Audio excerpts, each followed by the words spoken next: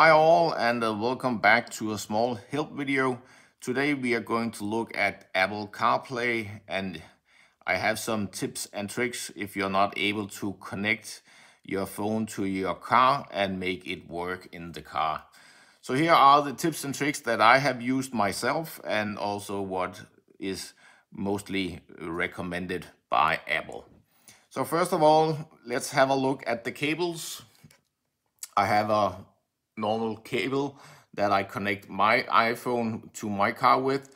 And I have experienced if the car get too old and you have used it a lot of times, then the cables are getting a bad connection. So try with a new cable uh, before you do anything else.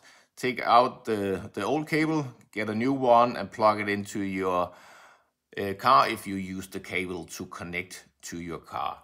So this is one of the most common issues that the cable has simply broken. So replace that one.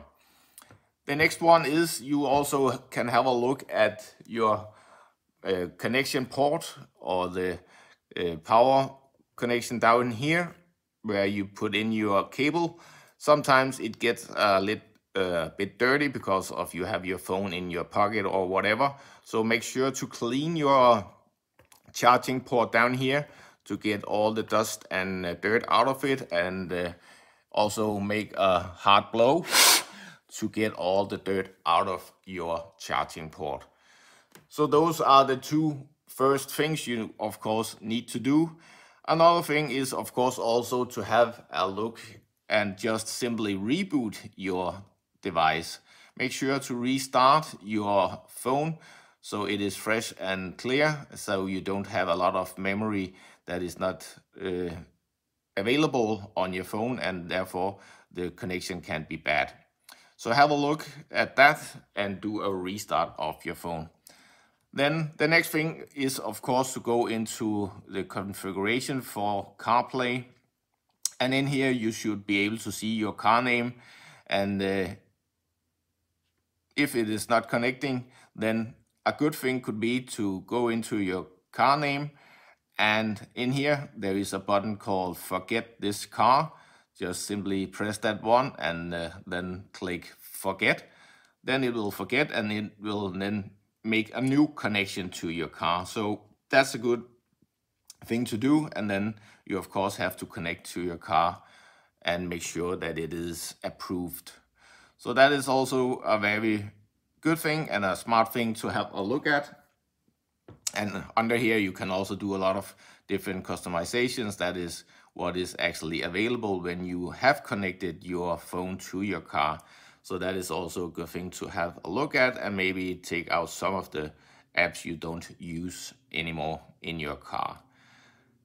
And another thing that is also very good to have a look at is the screen time and it is under this small section and down here we have the content and privacy restrictions. So when your phone is connecting to your car and you don't have it opened and you are logged into your phone then uh, you need to allow Apple CarPlay to be used. So in here under content and privacy restrictions there is allowed apps and in here you have a long list of different apps and services that uh, you have available on your phone. And down here you can see we have a CarPlay configuration that you can turn on and off. Simply just make sure to have it on. Another thing you can also do is under here, if you don't want to use any of these content and the privacy restrictions, you can simply just turn that off then you don't have any restrictions and then you will be able to use Apple CarPlay. So uh, hopefully that is something that you can uh, use if you are having issues uh, connecting your phone to your car. Before you go and try some of these tips and tricks and solutions that I have shown you, then uh, I also have a personal experience with uh, the Apple CarPlay and that is if you do not have your Siri enabled and is working as expected, then you will not be able to connect your phone to your car. So make sure that your Siri is up and running and is working as expected. If not, then you will not be able to connect your Apple CarPlay with your iPhone. So make sure Siri is configured and is working before you connect your iPhone to your car. So these are the most common uh, tips and tricks. So uh, always have a look at your wires.